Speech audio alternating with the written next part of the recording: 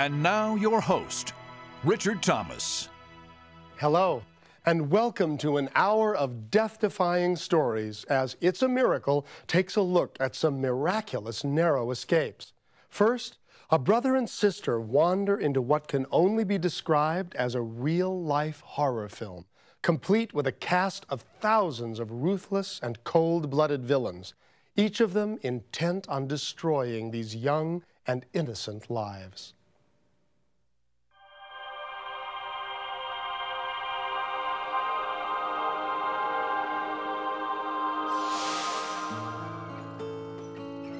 It was August 25th, 2000, and Alan Bell and his family had just arrived for a weekend of camping at Tahquamenon Falls in northern Michigan.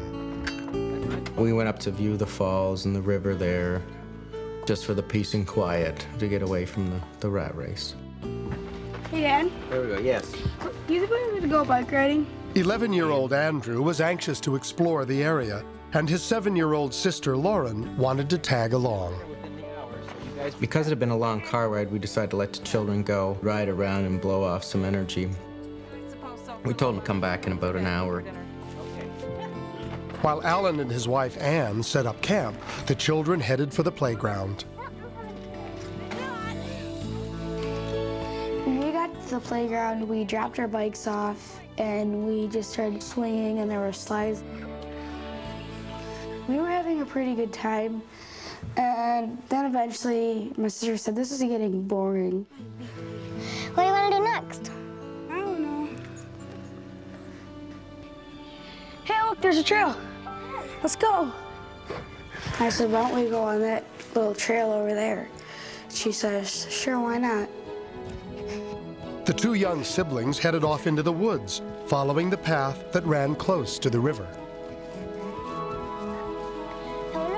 Any deer back here. I don't know, you might. As we were walking, I noticed caution tape hanging from trees and tied onto trees. What does caution mean? Caution means be aware, be alert. There might be some dangers up ahead. So I told my sister that we should turn around and just head back to camp. And just go a bit farther, please. We, we can't. We Come have to on, go. please. Andrew, come on. We have to go. I turned around to start walking back, and my sister kept on walking. All of a sudden, she just fell. Andrew! And then I noticed the buzz sound of the bees. Lauren had stepped directly into a hive of angry yellow jackets. Andrew, help me! She just started screaming. Lauren! Lauren! Lauren! Oh my God! I've never heard my sister scream like that before. She was just in terror and pain. My first thought was dirt, and I started throwing dirt on her. But that just made the bees more angry, and they started coming at me. Now both children were under attack, and the swarm was growing larger. I remembered that my science teacher told us bees can't fly if they get their wings wet. And so he headed for the river. I ran down and then dove into the water. And it worked. The bees washed away, and Andrew turned his attention back to his sister. Lauren, come on! They can't get you here! Come on! Lauren, come on! I was screaming to her, get in the water. The bees can't hurt you if you're in the water. Come on! She just stood there in terror. Just, she was like paralyzed. She couldn't move. Once again, Andrew was forced to enter the swarm. I picked her up and dragged her into the water. I told my sister on the count of three, we're going underwater. One, two, Andrew held his sister underwater for several seconds until all the bees were gone.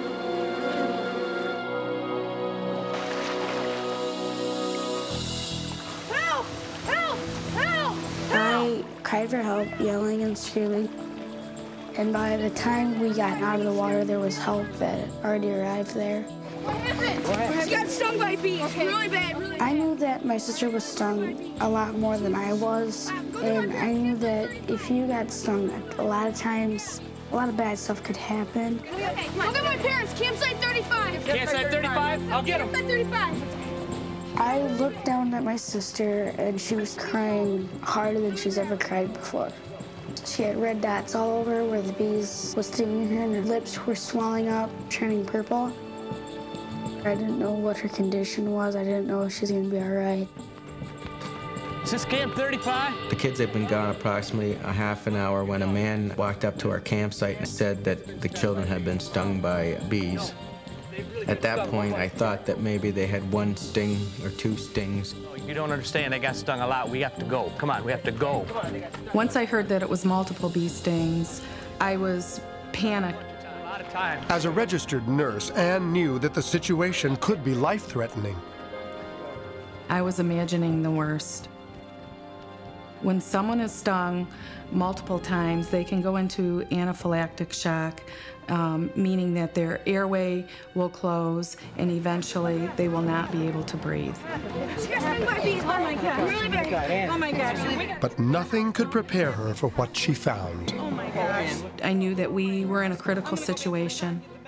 Her lips were very, very swollen and she was covered with bee stings. I'm gonna go back to the car and get the Benadryl. I'll be right back. I have a cell phone in the car. Okay. Try and use it. We'll call 911. Okay.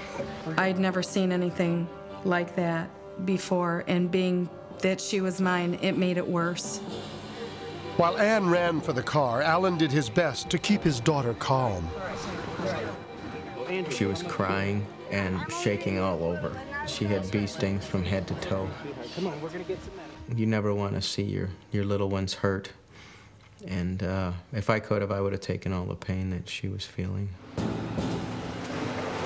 Before long, Anne returned with the car and the antihistamine. I told the kids to take the Benadryl, and I gave the phone to Alan to call 911. Regardless of how much Benadryl I had given her, she still needed to get medical care immediately. We gotta get her to the hospital here. I can't, I can't get a signal. We're We couldn't get a signal on the cell phone, and we had no idea where the nearest payphone was or where the nearest hospital was. Hurry up. Get in. Just get in the van. We went to the ranger station to call 911, but they were closed for the evening. So we drove outside the campground and found a variety store. Get a blanket. I'll call 911. I have an emergency. I need you to call 911. Come on. Come on, Andrew. Hurry up. Here. My daughter's been stung by a lot of bees. Help Yes. was on the way, but the campground was half an hour from the nearest medical facility. Store. The Tequila I was so scared. I knew that Lauren's condition could get worse at any minute, and I was afraid that we could not get her the help that she needed. Hurry, thank you. I need some ice. By icing Lauren down, I was hoping that it would give us some extra time to help prevent the spread of the venom until the paramedics showed up. Try to breathe. It's okay, honey. You're gonna Lauren's situation was critical. Okay. It was very difficult for me to keep a handle on my emotions. Andrew, you see that ambulance yet? I had to be a nurse and I had to be strong, and I couldn't let her know how afraid I really was. Breathe slow. Breathe slow. I didn't know whether or not she would live through this. Squeeze as hard as you can. Nice and easy. I can't imagine my life without her. She brings so much joy to my heart. And I don't know if I could endure living without her. I was praying that my daughter would be okay and that help would get there quickly. The hospital, the ambulance. It's okay. You'll look Anne's prayers were finally answered when the paramedics arrived with epinephrine, a drug that would immediately reverse Lauren's intense reaction to the bee stings. Ow. With the young girl out of immediate danger, she was taken to the hospital for further treatment. A short while later, Dr. Robert Lazar, an allergist, made a startling discovery. Lauren had 50 to 100 uh, stings with some yellow jackets, and 50 to 100 bee stings is quite a number. On top of that, we discovered that she had uh, allergy to several bees, including yellow jacket, yellow hornet, and white hornet. Here's those shots. What do you think? I believe that if Andrew wasn't there, she probably wouldn't be alive today. It was Andrew's quick thinking and a lesson that bees can't fly if their wings are wet that saved not only Lauren that day, but Andrew as well. I was glad that I actually paid attention that day at school. I'm very, very happy that she's okay now. Every time I look at Andrew and think about what he did and how he saved his sister's life, I just burst with joy and happiness. We are just so lucky to have her alive today. We treasure every day with her. I think it's a miracle that Lauren came through this. So that the bees would know that the queen was there. And just a year later, another unexpected miracle. Lauren has overcome her fear of bees. I did it. Lauren Bell is a very lucky little girl, lucky to have survived as long as she did being allergic to bee venom, and lucky to have an older brother like Andrew. We wanted to hear what's been happening with the Bell children, and so they join us now from their home in Traverse City, Michigan. Hello there. Hi. Hey, Richard. How are you feeling, Lauren? Pretty good. Looks like you got rid of all those nasty bee stings. Yes, I did. Now, you must be thankful for that, and especially thankful for what your older brother did when those bees attacked. I think it's very nice that he did that for me. Is there something special you'd like to say to him? I like to say that thank you for saving my life, Andrew. What do you think about that, Andrew? It's pretty nice. Yes, it is. Has your relationship changed at all since all this happened to you? It hasn't changed one bit. We still fight like every other brother and sister. well, at least you're honest. You have any advice for other kids who might find themselves in a situation like you and Lauren did? My advice would be just be alert, just know where you are, make sure you have a way of getting help, and just look out for yourself. And look out for others too, right? That's also important to make sure that everybody around you, even if they're, especially when they're younger, to make sure that they're going to be all right too. So, Lauren, it sounds like as long as you stick close to your brother, you're going to be okay. I'm going to be really okay. I'm sure you will. And thanks for sharing your story with us. Thanks. Goodbye. Bye. Bye.